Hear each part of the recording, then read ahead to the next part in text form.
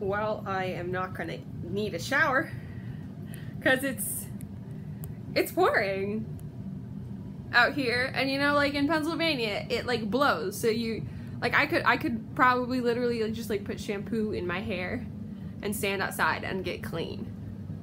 Because in Pennsylvania it's just like whoosh whoosh whoosh whoosh whoosh whoosh whoosh oh you're all wet like eh. but here it's just like there's no wind. Just quite off-putting to be honest. Just just goes like that. None of this. Just got a flood warning.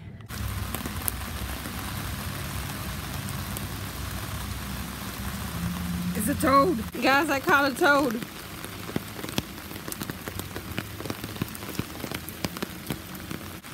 Okay guys I wanted to show you just how flooded the lake is here.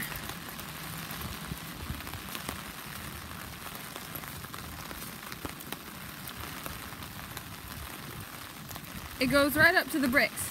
And see see these blobs here?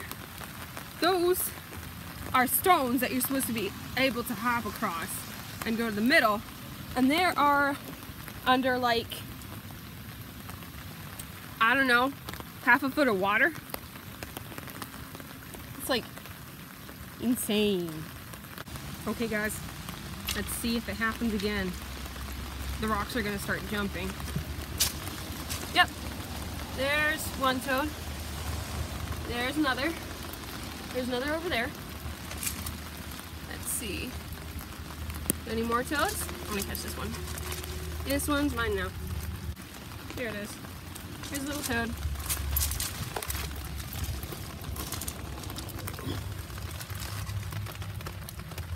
Here's another toad.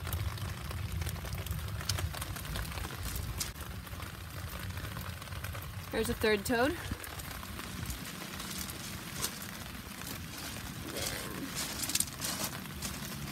Oh my gosh! Oh my gosh, that's it's so tiny. Come here. It's so tiny. Oh my gosh.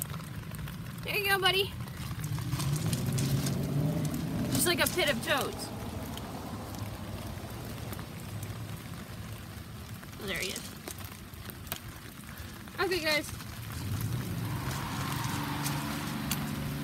I'm gonna leave you to it.